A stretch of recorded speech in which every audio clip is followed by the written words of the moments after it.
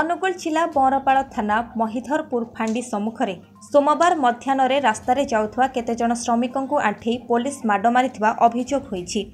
ଏହି ସମୟର ଏକ ଭିଡିଓ ସୋସିଆଲ ମିଡିଆରେ ଭାଇରାଲ ହୋଇଛି।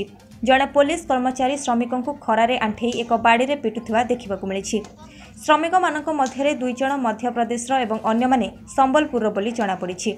ସେମାନେ ଭୁବନେଶ୍ୱରରୁ ଚାଲି ଚାଲି ସମ୍ବଲପୁର ଯାଉଥିବା ବେଳେ ପୋଲିସ ସେମାନଙ୍କୁ ମାଡ଼ ମାରୁଥିବା ଦେଖାଯାଇଛି। ତେବେ ଭିଡିଓ ଭାଇରାଲ ହେବା ପରେ ଏସିପି ସମ୍ପୃକ୍ତ କର୍ମଚାରୀଙ୍କୁ ରିଜର୍ଭକୁ ନେଇଯାଇଥିବା ଜଣାପଡ଼ିଛି। ଏ ବିଷୟରେ ମହିଧରପୁର ଫାଣ୍ଡି ଏଏସ୍ଆଇ ଅଶୋକ କୁମାର ତ୍ରିପାଠୀ କୁହନ୍ତି ସେହି ସମୟରେ ତହସିଲଦାର ଆର୍ଆଇ ଏବଂ ସେ ନିଜେ ଏକ ଇଟାଭାଟିରେ ଶ୍ରମିକ କାମ କରୁଥିବା ତଦନ୍ତରେ ଯାଇଥିଲେ। ଏପରି ଘଟଣା ସମ୍ପର୍କରେ ସନ୍ଧ୍ୟାରେ ଖବର ମିଳିଲା। ଏସିପିଙ୍କ ନିର୍ଦ୍ଦେଶ ଅନୁଯାୟୀ ସମ୍ପୃକ୍ତ ପୋଲିସ କର୍ମଚାରୀଙ୍କୁ ସାର୍ଟିଫିକେଟ୍ ଦେଇ ରିଜର୍ଭକୁ ପଠାଯାଇଛି। ତଦନ୍ତ ଜାରି ରହିଛି। ଅନୁଗୁଳରୁ ନିର୍ମଳ ଅଗ୍ରୱାଲଙ୍କ ରିପୋର୍ଟ ଫୋକସ୍ ପ୍ଲସ୍।